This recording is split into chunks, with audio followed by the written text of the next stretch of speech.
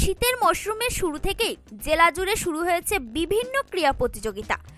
আর রবিবার সেই ধারাকে অব্যাহত রেখে প্রত্যন্ত সুন্দরবনের বাসন্তীর মসজিদ বাটিতে অনুষ্ঠিত হলো আট দলের ক্রিকেট প্রতিযোগিতা। আর Masjidbati science city of rural welfare সোসাইটির আয়োজিত এদিনের এই ক্রিকেট প্রতিযোগিতায় জেলার বিভিন্ন প্রান্তের আটটি ক্রিকেট দল অংশগ্রহণ করে। মসজিদবাটি হাই স্কুলের মাঠে অনুষ্ঠিত হওয়া এই টুর্নামেন্টের ফাইনালে মুখোমুখি হয় সুভাষগ্রাম তরুণ সংঘ ও বিধাননগর ডেডবডি সংঘ।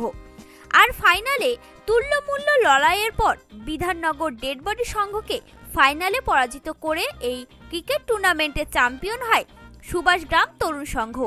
আর ছুটির দিনে Masjidbati science city of rural ওয়েলফেয়ারের সোসাইটির আয়োজিত এদিনের এই ক্রিকেট প্রতিযোগিতা দেখতে খেলার মাঠে দর্শকদের ভিড় ছিল চোখে পড়ার মতো।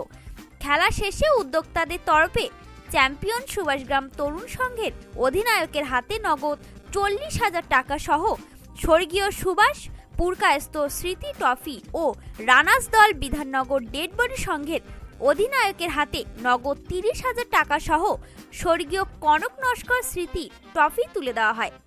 আর এদিনের এই ক্রিকেট টুর্নামেন্টের অতিথি হিসাবে উপস্থিত ছিলেন বাসন্তী থানার ভারপ্রাপ্ত আইসি দুর্গাপ্রসাদ মজুমদার, দক্ষিণ চব্বিশ পরগনা জেলা পরিষদের সদস্যা শঙ্করী মণ্ডল, মসজিদবাটি গ্রাম পঞ্চায়েতের প্রধান গৌর মণ্ডল ও উপপ্রধান সুলতা মণ্ডল সহ বিশিষ্ট সমাজসেবী প্রতাপ নস্কর, রাজু সোহেল, গোপাল দাস। আর এদিনের এই ক্রিকেট টুর্নামেন্ট সম্পর্কে Masjidbati science city of rural welfare সোসাইটির সভাপতি কবির বেগ বলেন, আমরা প্রতি বছর এই ক্রিকেট টুর্নামেন্টটি আয়োজন করি। সারা বছর গ্রামের মানুষ সবাই বিভিন্ন কাজে ব্যস্ত থাকে। কিন্তু এই দিনে সবাই সবার কাজকর্ম ছুটি রেখে একটা দিন আনন্দ করে মাঠে এসে খেলা দেখে। তাই এই ক্রিকেট টুর্নামেন্টটি শুধু খেলা হিসাবে সীমাবদ্ধ নেই এই টুর্নামেন্টটি মসজিদবাটি গ্রামের মানুষের কাছে একদিনের উৎসব। গত তিরিশ বছর ধরেই চলে আসছে। সম্প্রতি এটা অতীতে এতটা আমরা আড়ম্বর করে করতে পারিনি, কিন্তু বর্তমানে আমরা সায়েন্স সিটি ক্লাবের প্রচেষ্টায় আমরা এটা অনেকটা বড় করেছি, দর্শক সংখ্যাও অনেক বেড়েছে, প্রশাসন থেকে আমরা যথেষ্ট সহযোগিতা পেয়েছি আজকে মাঠে আমাদের মধ্যে উপস্থিত আছেন বাসন্তী থানার ভারপ্রাপ্ত আইসি। তিনিও উপস্থিত আছেন অনেক বিশিষ্ট ব্যক্তিবর্গ উপস্থিত আছেন। এবং আমরা যে এইটা করতে পেরেছি এটা সম্পূর্ণ আমাদের এখানে দর্শকের একটা বিশাল সাড়া আছে।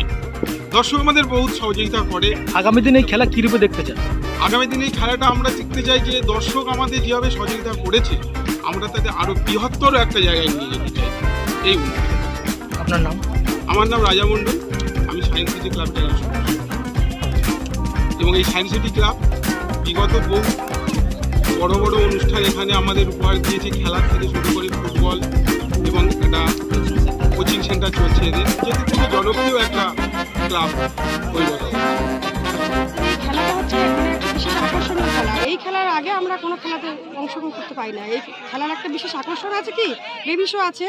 আর তারপরে মহিলাদের জন্য একটা গ্যালারি থাকে যেটা সবাই মিলে খেলা দেখার আনন্দটাই থাকে না। মানে পুরুষদের দিকটা আলাদা মহিলাদের দিকটা আলাদা।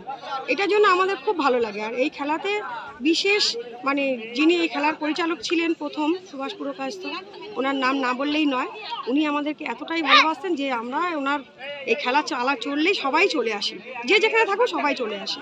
আর বিগত আরও কিছুদিন প্রত্যেক বছর কি এই দিনটার জন্য অপেক্ষা করেন? এই দিনটার জন্য আমরা অপেক্ষা করে থাকি যে কখন পুরকাস্তাদের খেলাটা আসবে আর কখন আমরা মাঠে থাকব আর কখন আমাদের খেলা আরম্ভ হবে বা এই খেলার পরে বেবি শো আছে। একটা খুব সুন্দর পজিশন মানে বেবি শোটা বাচ্চাদের যে এত সুন্দর একটা অনুষ্ঠান হয় ওটা অন্যান্য জায়গায় হয় না। কিন্তু এই খেলার মাধ্যম দিয়ে সেটা হয়। এই জন্য আমাদের খুব ভালো লাগে। আমার নাম জয়শ্রী মিস্ত্রি। আমি এখানকারই বউ। আমাদের এটা পুরনো ঐতিহ্য খেলা আজ তিরিশ বছর ধরে এখানে উদযাপিত হচ্ছে এবং দর্শক খুব এতে আনন্দ পায় এবং এলাকার প্রচুর দর্শক এখানে জমায়েত হয়। বিশেষ করে আমাদের যে পুরনো খেলা উদ্যোক্তা আগে আরও বড়োভাবে আয়োজন হতো সেটা এখন একটু কমে গেছে। আমরা চাইছি এই খেলা যে পরিচালনা হচ্ছে আরও বড়োভাবে এবং মানে বিগত দিনে আরও বড় হোক এটা আমরা মানে জ্ঞাপন করছি। আপনার নাম? আমার নাম মোহাম্মদ আবদুল্লাহ শেখ মসজিদবাড়ি অঞ্চল।